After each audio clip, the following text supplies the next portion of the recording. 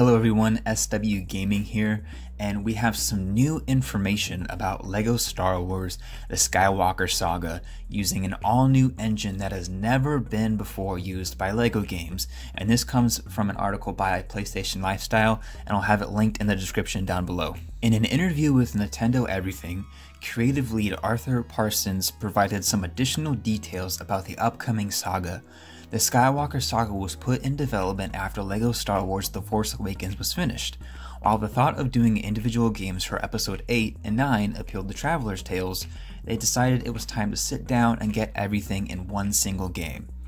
We did Episode 7, and at that time we looked at that and we thought, that's a great experience, and rather than just do 8 next time, let's do the whole thing. Let's rebuild it from the ground up, from scratch. This isn't like a normal LEGO game, this is a big step up for us, so we wanted to take the opportunity to take that big step with all new tech and just make it the ultimate Star Wars celebration. All nine movies.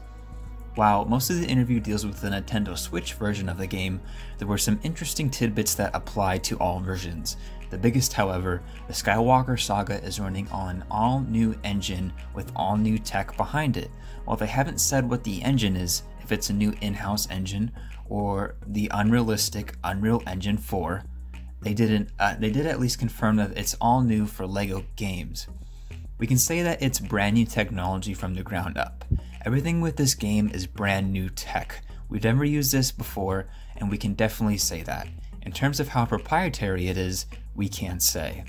Another major part of the interview had to do with unlocking things and exploring the various locations during different timelines.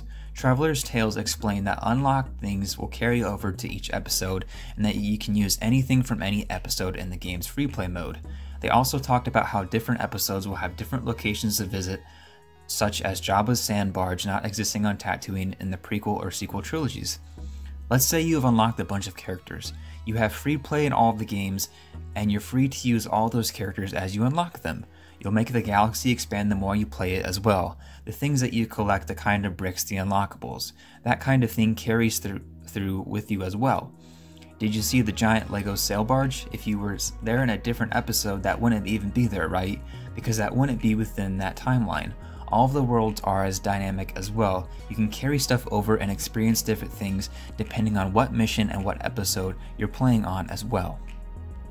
Now, besides the new game engine, none of this sounds new, because you could all do this in previous LEGO games. You could play as different characters and unlock different parts uh, within the level.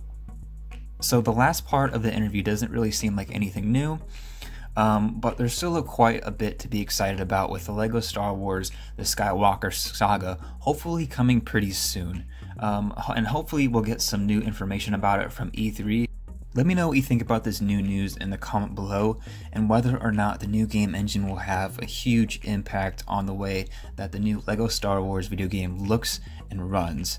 Now, if the trailers are any indication, this is a huge step in graphics from the last LEGO Star Wars game and it has me even more excited about the potential release date and finally getting to play the game that I've wanted to play for so long.